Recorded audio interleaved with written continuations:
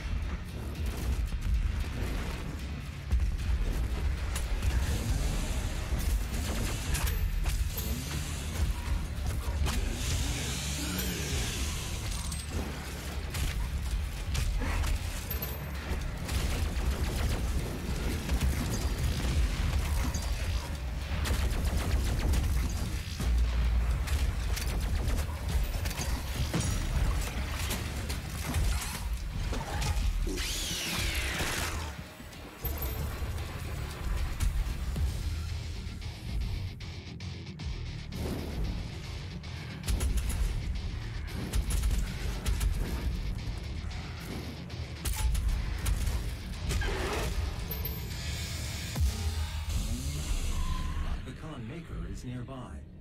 She is inside that demonic citadel. I will mark her location on your HUD.